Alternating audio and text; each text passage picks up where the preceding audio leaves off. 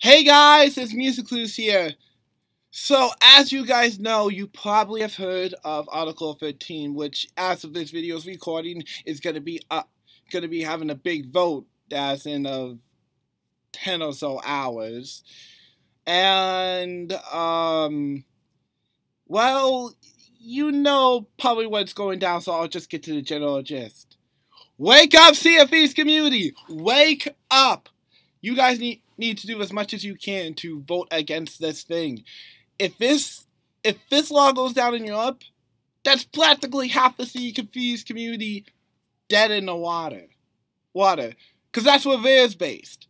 Hey, so I can bet you five bu bucks that a lot of the supporters that they get for the streams and stuff, stuff like the content creators and all that, all of that is from Europe. And if this happen, uh, and if this law goes through, the small supporters won't be able to help help out there support this game even more. In fact, it's only going to be be if people are sponsored by Rare that they'll be able to do this stuff. Yeah, that's how bad it is. So, no offense, Sea of Thieves community.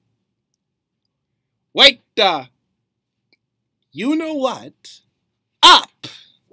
Seriously, guys. Guys, contact, do as much as you guys can for these next 10 or so hours before the vote. So you guys know this is going to be taking place possibly while I'm sleeping. So, um, yeah.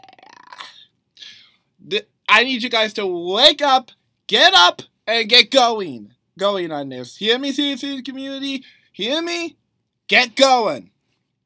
Owen, we'll all count on you because tomorrow will depend whether Sea of Thieves is going to have a rough second year or smooth sailing in the waters. So we'll count it on you. Go get him, Europe. Yep, this is one pirate fight we cannot afford to lose.